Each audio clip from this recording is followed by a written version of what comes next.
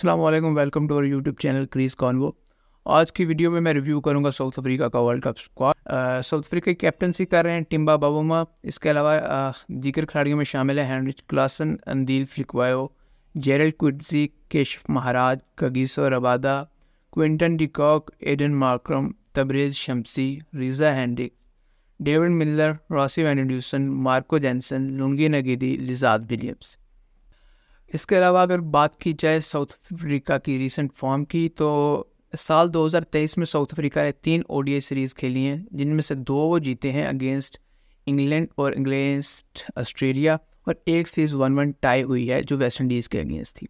Recently उन्होंने Australia को three two से अपने होम सीरीज़ में शिकस्त दी है। बात करेंगे साउथ अफ्रीका के स्ट्रॉन्ग पॉइंट्स की तो सबसे पहले हम बात करेंगे टिम्बा बाबूमा की।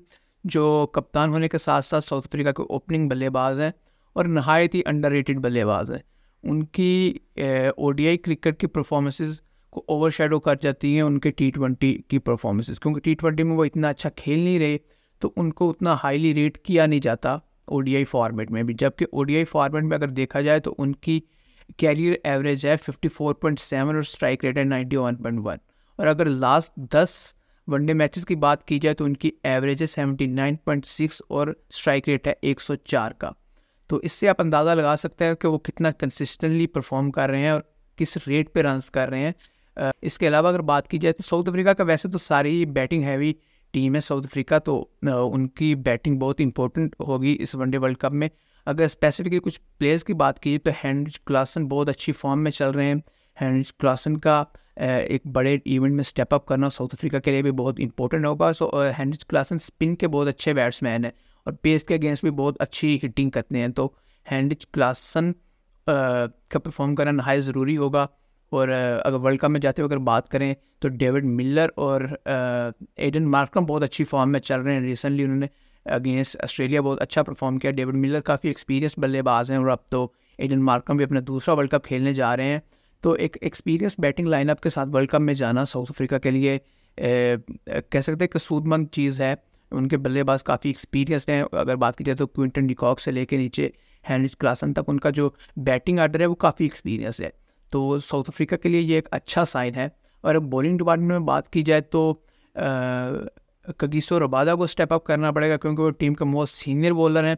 और सीनियर बॉलर के तौर पे उनको सामने आना होगा और टीम के लिए स्टेप अप करना होगा। और उनके पास कगीसो रवादा के पास इंडिया में खेलने का एक मकूल तजर्बा है, मकूल एक्सपीरियंस है, वो काफ़ी आईपीएल में भी काफ़ी मैचेस खेल चुके हैं। वैसे भी अगर बात की जाए तो नौ वनडे मैच में तेरह विकेट्स हैं उनकी इंडियन सरफेस पर।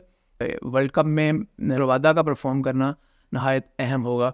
अगर बात की जाए एरिया ऑफ़ कंसर्नस की तो सबसे पहले जो साउथ अफ्रीका के साथ एक चीज़ को शार बार डिस्कस किया जाता है, वो यही है कि साउथ अफ्रीका का माजी चोकिंग के हवाले से कोई अच्छा रहा नहीं, वो बड़े इवेंट्स में, बड़े मैचेस में जाकर चोक कर जाते हैं, वो हम माजी में देख भी चुके हैं। तो एक वो बैक ऑफ़ द माइंड चीज़ एक टीम के होती है, जिस तरह का वो पास्ट में परफॉर्म कर रहे होते हैं, लेकिन hopefully there always a first time for something तो इस मरतबा शायद वो हो जाए। और उसके अलावा नोकिया की एक्सक्लूजन एक बहुत बड़ा सेटबैक है साउथ अफ्रीका के लिए, जो उनको हांड करने जा रहा है, क्योंकि नोकिया बड़े ही कह सकते हैं कि एक टीयर अवे फास्ट बॉलर हैं और वो विकेट्स ले सकते हैं स्पेशली इंडिया जैसे ग्राउंड्स में। उसके अलावा अगर बात करें तो रासी वैंडर ड्यूसन जो साउथ अफ्रीका के लिए काफ़ी अरसे से कंसिस्टेंटली परफॉर्म कर रहे थे, उनकी रिसेंटली ओडीआई फॉर्मेट में फॉर्म इतनी अच्छी चल नहीं रही, जो एज एक फ़िक्र की बात होगी साउथ अफ्रीका के लिए भी उनकी लास्ट दस मैचेस में कोई around thirty four thirty five की एवरेज है, जो उनके स्टैंडर्ड के हिसाब से जो उन्होंने सेट किया है, बहुत कम है।